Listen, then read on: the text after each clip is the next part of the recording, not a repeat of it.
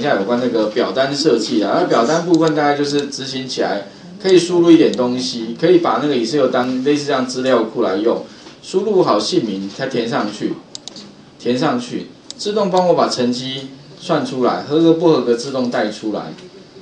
这边有个新增嘛，可以新增过来。啊，这表单怎么做？程式怎么写？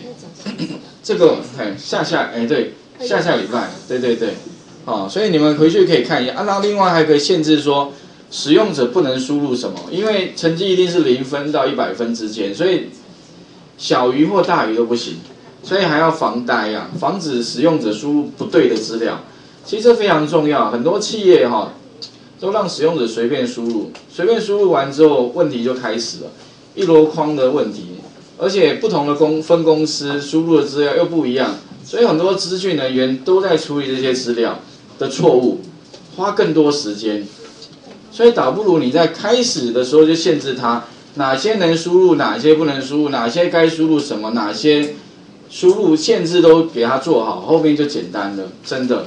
好，我发现很多企业内部都这样子，都没有限制诶，随便输入，后面才是在帮他解决问题。好，所以那表单其实蛮重要的，如果你学会的话，可以解决很多问题。像之前有一个同学。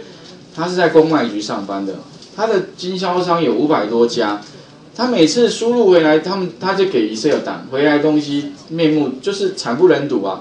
他要花很多时间去解决那些格式上的问题、资料上的问题。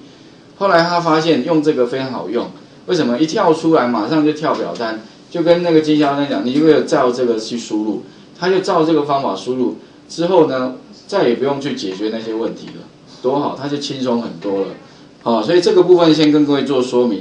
那细节部分呢？哈，各位可以参考一下云端上面，城市都在这上面啊。所以回去有时间的话，可以稍微看一下，启动起来，可以把它启动起来哈。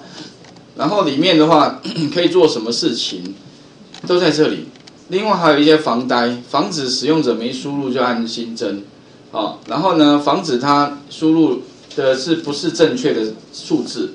等等的哈，那这个部分的话，我们下个礼拜再来看好了。就是有关表单，因为今天时间也差不多了，好，那明天后天就除夕了嘛哈，所以先在这边先祝大家新年快乐哈，恭喜发财哈。那 OK，新年快乐哈，OK，那我们今天就先到这里好了哈，OK 好。